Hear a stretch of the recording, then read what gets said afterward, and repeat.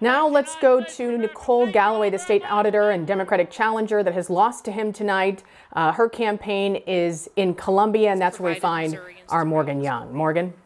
He is a dedicated husband, father, and grandfather who has spent his life working for the people of our. Now she just walked out. There are so many people to thank tonight.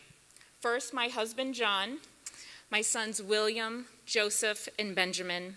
Thank you. You bring so much joy and purpose to my life, and I love you with all my heart. To my mom and dad, thank you.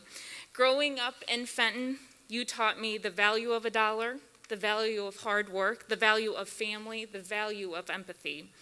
Your lessons over the years shape my outlook on service and help me understand right from wrong. Thank you to my sister Megan, my best friend, my brother Matthew for always being there for me, my in laws, my entire supportive family. I am blessed and lucky to have you. To Chris Sloan and my campaign staff, you are incredible. I am humbled by the countless hours you put in, often operating on just a few hours' sleep, and motivated by the simple belief that Missourians deserve a new way in Jefferson City. This campaign would not have been possible without each and every one of you. To my brothers and sisters in labor, who were the beating heart of this campaign, I will never, I will never forget the support that you have given me, and I will never stop fighting for you. Thank you to the organizers and volunteers, people of all ages from every corner of Missouri, who reached out to voters, texted, and phone bank. You fought for the change we desperately need. To all the young women across Missouri who I met on the campaign trail, I want you to know there's nothing you can't do. Tonight, I may have come up short, but over the past 15 months, I have met so many young women who I know will be future governors of Missouri. Finally, I want to thank the people of Missouri. Listening to your stories, your hopes, your dreams motivated me to get into this race. It was a privilege meeting so many families over the course of this campaign. Contrary to what people may see in our politics right now, campaigns are about hope and optimism, not fear. My goal was to run a campaign that would make you proud, to run a campaign that was accessible and responsive, a campaign that you could see yourself in.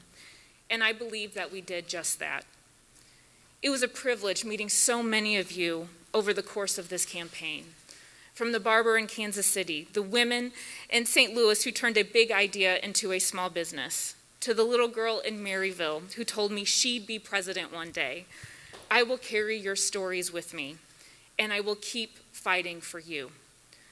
Over this course of this campaign, we built a coalition of Missourians who were united around a few simple values that we can no longer ignore science and the growing threat of COVID 19, that no one should be denied access to health care amidst a deadly pandemic, and that our children deserve to live in a Missouri that is fair and accountable to all of its citizens.